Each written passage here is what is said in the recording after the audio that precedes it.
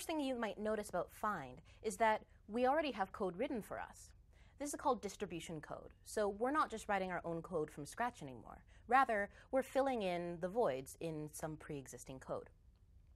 The find.c program prompts for numbers to fill the haystack, searches the haystack for a user-submitted needle, and it does this by calling sort and search, functions defined in helpers.c. So find.c is written already. Your job is to write helpers. So what are we doing? We're implementing two functions. Search, which returns true if a value is found in the haystack, returning false if the value is not in the haystack. And then we're also implementing sort, which sorts the array called values. So let's tackle search.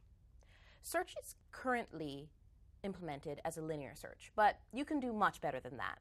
Linear search is implemented in O of n time, which is quite slow, although it can search any list given to it. Your job is to implement binary search, which is, has runtime O of log n. That's pretty fast, but there's a stipulation. Binary search can only search through pre-sorted lists. Why is that? Well, let's look at an example. Given an array of values, the haystack, we're going to be looking for a needle, and in this example, the integer 3. The way that binary search works is that we compare the middle value of the array to the needle, much like how we opened a phone book to the middle page in week zero. So after comparing the middle value to the needle, you can discard either the left or the right half of the array by tightening your bounds. In this case, since 3, our needle, is less than 10, the middle value, the right bound can decrease. But try to make your bounds as tight as possible. If the middle value isn't the needle, then you know that you don't need to include it in your search. So your right bound can tighten the search bounds just a tiny bit more, and so on and so forth until you find your needle.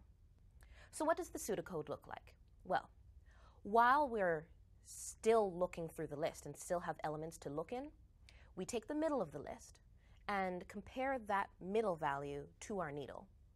If they're equal, then that means we found the needle and we can return true.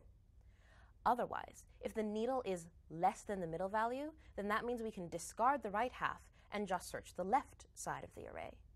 Otherwise, we'll search the right side of the array. And at the end, if you don't have any more elements left to search, but you haven't found your needle yet, then you return false, because the needle definitely isn't in the haystack. Now, a neat thing about this pseudocode and binary search is that it can be interpreted as either an iterative or recursive implementation. So it would be recursive if you called the search function within the search function on either half of the array. We'll cover recursion a bit later in the course, but do know that it is an option if you'd like to try.